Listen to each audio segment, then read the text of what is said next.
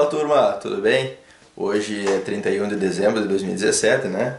Acredito que vai ser o último vídeo do ano, então queria aproveitar, tá aí eu e minha, é, tá aí eu e minha secretária. Tá, acredito que vai ser aí o último vídeo de 2017, né galera? Nada, nenhum assunto demais aí, só pra se despedir da, do ano e, e desejar um feliz ano de 2018 para todo mundo que acompanha o canal aí.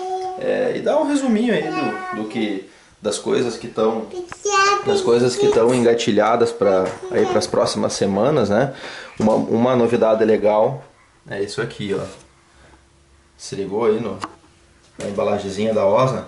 Pois é, isso aí foi, foi presente aí que a, que a Osna mandou para mim, né? É, um kitzinho da lâmpada Night Breaker, né? Aqui que tem uma H4, né? 130% mais luz do que as standard, né? E aqui uma H1, né? Também aqui 110% mais, mais luz, 35 metros de maior alcance, né? Em relação aos originais, 20% mais luz branca, né? Aí tem aqui um, tipo um, é um cartãozinho, que é um pendrive, né? Aí uma caneta bem bacana da, da Osmo também. Desejar agradecer também a, a Osmo pela, pela, pelo reconhecimento, né, galera? A gente é um, é um, é, ainda é um canal bem amador, né, galera? A gente não quer ser um canal aí com super edições, né? É, isso eu deixo pra galera que, que já tá no YouTube há mais tempo fazer. A gente, a gente simplesmente faz o, o, o dia a dia da maioria dos brasileiros que são apaixonados por carros, né? E a gente tenta fazer o máximo das manutenções que a gente consegue em casa, comprar as peças na internet, né, para conseguir manter um, um carro bacana que o nosso país não está fácil, né. Então, em breve a gente vai testar aí as, as, as lâmpadas Osram Night Breaker, né? Agora em 2017 a lâmpada Night Breaker fez o aniversário de 10 anos no Brasil, né? E é uma lâmpada muito boa, já usei várias no, no, nos meus carros, né? A Osram em si é uma empresa nível mundial, né, de, de muito boa qualidade. Essa aqui é uma lâmpada que eu já tinha, usava no Astra GSI, né, é uma lâmpada uh, que o objetivo dela é mais, na verdade, aparência, né, galera, essa luz mais branca, efeito xenon, né, bem bacana essa lâmpada aqui. E o que eu queria mostrar para vocês também é a questão do, do Azeira, que nas próximas semanas aí, janeiro eu vou estar de férias, eu acabei comprando pelo Mercado Livre o filtro de combustível, né? A gente sabe que o filtro de combustível do Azeira é, ele é interno dentro do tanque. A única, o único detalhezinho chato que eu acho do Azeira é o filtro de combustível, né?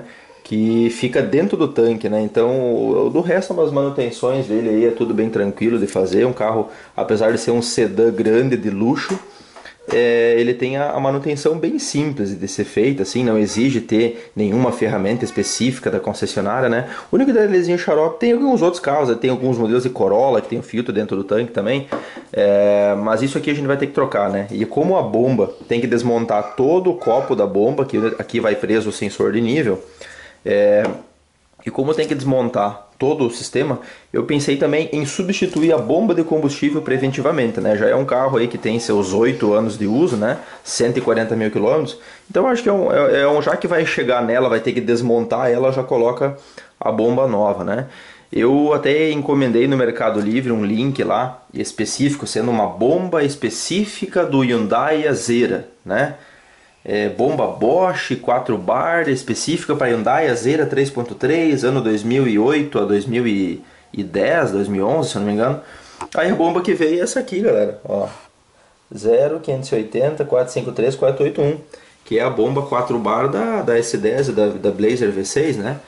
Então, eu poderia ter comprado ela lá na Autopeça onde eu trabalho para este custo, né? E aí, mas enfim, é, vamos ver se realmente vai ser a mesma bomba padrão que vai estar tá lá original do carro, né? Isso a gente vai ver nas próximas nas próximas semanas aí.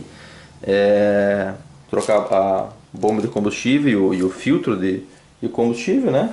E daqui a alguns dias a gente vai fazer o teste também com as lâmpadas Night Breaker aí. Então, acredito que é isso aí, galera, né? É, mais uma vez aí desejar para vocês um feliz 2018 e tudo de bom para vocês, continuem acompanhando o canal aí, que na medida do possível a gente sempre vai falar sobre carro, sobre a manutenção, beleza? Grande abraço e até ano que vem, galera. Valeu!